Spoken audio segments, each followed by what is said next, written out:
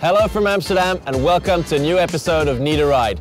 Today I'm gonna meet one of the most successful squash players of her time, Nicol David.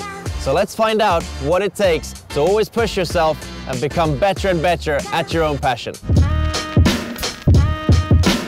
Hey Nicol, need a ride? Sure, why not?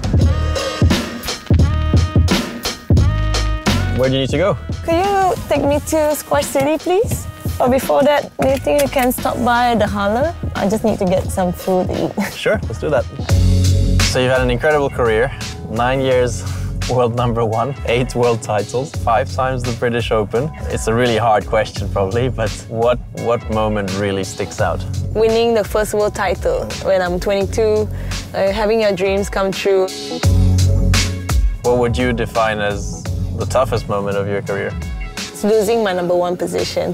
I kind of felt that I lost my identity and I just got more frustrated. But in that moment, I grew up as a person and right now I'm so so thrilled that I went through that process. What would your tips be to becoming the best uh, at what you love doing? I'm learning from your mistakes and also when you're at your lowest, uh, you learn more from those moments than actually when you're at your high. I don't actually think about winning because I always want to win, but I then focus about the performance, and if I perform well, the results will come. To be at the top, you have to find a motivation to push yourself further and further, putting your heart and soul into it, and also motivating myself to improve. So uh, this is the Hallen then? Yeah, let's get some food.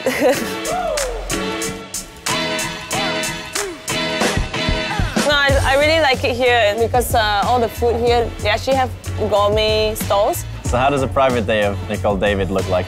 Mostly if I have time, I like to find space to go for some dance classes. So after a dance class, I feel more free and relaxed on, on court and then after that I can eat again.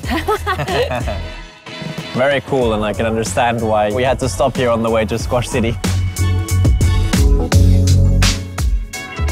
So what does uh, your private life hold for you now uh, after your retirement? Um, well, after my retirement, I'm going to set up my foundation back in Malaysia and focus on empowering girls through sport, specifically squash because that's my expertise. Yeah. And I think Malaysia will benefit so much from more girls getting into sport. I'm very excited to share my knowledge. All right, here we are, Squash City. Let me help you get your bag. Thanks for showing me Amsterdam. It was a great ride. See you around. All the best. Ah. Thank you.